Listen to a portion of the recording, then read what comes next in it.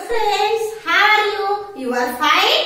Okay. So welcome to our Hindi class. Today we are going to learn topic है वर्णमाला ज और झ है ना हाँ तो इससे पहले आपने क से कबूतर अंग तक पढ़ा था और उसके बाद च की लाइन चालू हो गई थी अपनी तो उसमें च से चम्मच छ से छाता।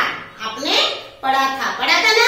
हाँ। तो चलो फिर एक बार आपको छ से छाता तक क्या करेंगे? ओरल करेंगे। बोलेंगे ना?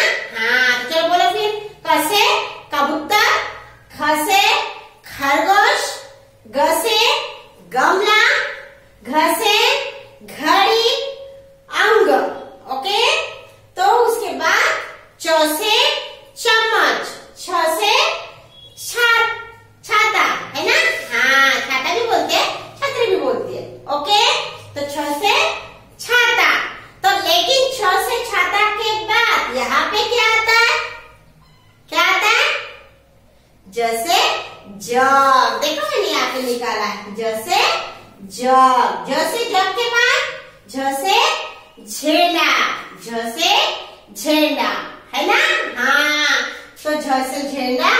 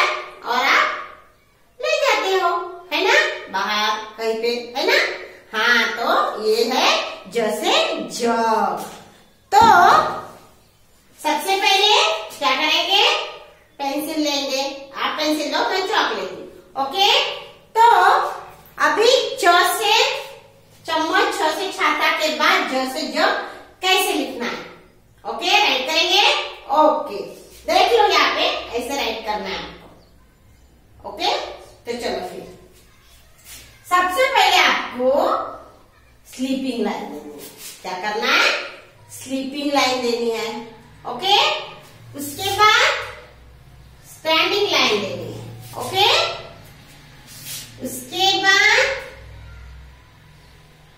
स्लीपिंग लाइन स्टैंडिंग लाइन ये तो हो गई ना? हाँ तो उसके बाद यहाँ पे छोटी स्लीपिंग लाइन देनी है ओके यहाँ पे छोटी स्लीपिंग लाइन देनी है। दी आपने? ओके तो उसके बाद थर्ड स्टेप में क्या करेंगे? ऐसे स्लीपिंग लाइन देंगे ओके ये थोड़ा नज़दीक हो रहा थोड़ा दूर लेंगे ओके तो ये स्लीपिंग लाइन दी है, उसके बाद स्टैंडिंग लाइन ओके निकाली आपने वेरी गुड उसके बाद यहाँ में बीच में स्लीपिंग लाइन देनी है ओके दिया आपने वेरी गुड और यहाँ पे ऐसे आपको सर्कल बनाना है। यहाँ पे आपको सर्कल बनाना तो ये क्या हुआ? क्या हुआ? जो से ज। क्या हुआ? ज से जग देखो, ऐसे निकाला है ना हाँ तो इसको क्या बोलते हैं? ज से जग ओके? ज से ज। से जग तो आपका क्या हुआ? तैयार हो गया और निकालेंगे ओके तो पहले स्लीपिंग लाइन उसके बाद स्टैंडिंग लाइन ओके उसके बाद यहाँ पे बीच में स्टैंडिंग लाइन ओके और उसके बाद हाफ़ सर्कल ओके तो ये जैसे जग क्या हुआ? जैसे जग और निकालेंगे ऐसे और ऐसे जैसे जग, ओके? और निकालेंगे वेरी गुड ऐसे स्टैंडिंग लाइन दी है ना आपने? हाँ और उसके बाद ऐसे स्लीपिंग लाइन और इसको ऐसे, जैसे जग. हुआ ना कंप्लीट हाँ कितने निकाले? फोर निकाले? और निकालेंगे? ठीक है एक निकाल लेंगे ठीक है चलो फिर निकालो sleeping line standing line okay उसके बाद बीच में स्लीपिंग लाइन और उसके बाद हाफ़ सर्कल ओके तो ये ए क्या हुआ? जैसे जॉब कंप्लीट हो गया आपका। हुआ ना? ऐसे ही जैसे जॉब। ओके? कोई प्रॉब्लम है आपको? नहीं समझ में आया है? आया है ना? Very good. तो ऐसे जैसे जब निकाला है। आप भी निकाला है ना? आपने भी? Very good. तो जैसे जब के बाद क्या आता है? बताओ। जैसे छेड़ा मैंने निकाला है। है ना? हाँ। छब्बीस जनवरी को आप तो और पंद्रह अगस्त को भी आपको झेंडा लेके देते हैं। मम्मी पापा आपके स्कूल में भी होता है। होता है ना? आपके सबकी पहचान का है। है ना? हाँ। तो झ से झेंडा कैसे लिखते हैं? ये देखेंगे अभी ऐसे तो लिखते हैं, लेकिन स्टेप करना पड़ेगा ना। हाँ सबसे पहले क्या निकालना है? ओके तो देखो फिर। पेंसिल ली आपने? ओके, चलो फिर मेरे साथ आपको राइट करना है। देखो, सबसे पहले sleeping line okay? Two line का बुक रहता है, लेकिन टू लाइन तो निकाली रहती है लेकिन ऊपर स्लीपिंग लाइन देना ओके? तो इसके बाद आपको आपको मैं ऐसे बताती हूँ, रुको। सबसे पहले स्लीपिंग लाइन दी है। उसके बाद छोटी स्टैंडिंग लाइन दो ओके उसके बाद स्लीपिंग लाइन स्टैंडिंग लाइन छोटी हाफ़ सर्कल ओके उसके बाद, और इधर हाफ़ सर्कल दिया है ना? हाँ तभी इधर हाफ़ सर्कल देंगे ओके दिया है हाँ और इसको ऐसे नीचे खींचेंगे ओके और उसके बाद आपको क्या करना है स्लीपिंग लाइन स्टैंडिंग लाइन छोटी हाफ़ सर्कल इधर हाफ़ सर्कल इधर ओके और नीचे खींचना है। और यहाँ में बीच में स्लीपिंग लाइन देना है। छोटी स्लीपिंग लाइन देना है। ओके और उसके बाद ऐसे स्टैंडिंग लाइन देनी है। ऐसी स्टैंडिंग लाइन देना है। तो ये क्या हुआ? झसे झेंडा। क्या हुआ? झसे झेंडा। तैयार हो गया ना आपका? हाँ। इसके पहले आपने इसे इमली भी ऐसी निकाली थी ना? हाँ तभी मैंने आपको बताई थी। इसे इमली कैसे निकालते हैं करके। तो ऐसे निकाली थी ना इसे इमली? हाँ तो ऐसे ही निकालना है। इसे इमली निकालना है। बीच में उसको लाइन देना है छोटी।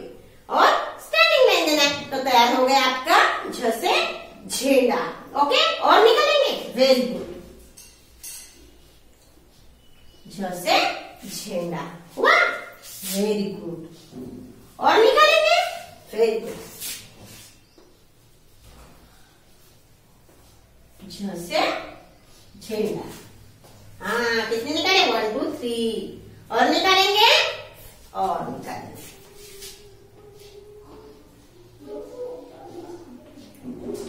छ से छेड़ा हुआ ना ये हुआ आपका कंप्लीट झ से छेड़ा इजी है ना? हाँ देखो, ऐसे निकाला है ना?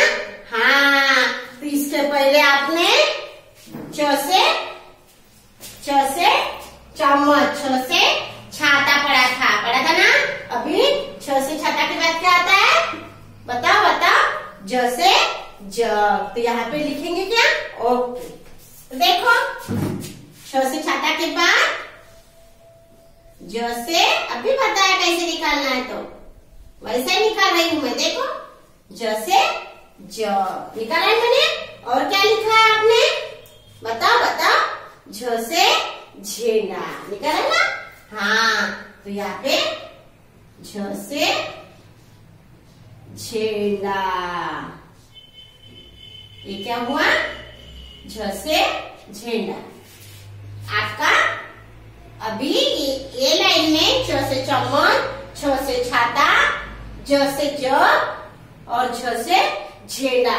कंप्लीट हो गया लेकिन यहाँ पे एक वर्ड एक वर्णमाला रही है। वो कौन सी है?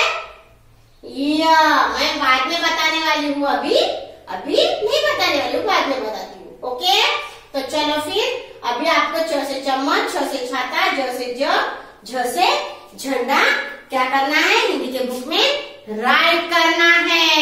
और आपका हिंदी का जो वर्ड बुक है, देखो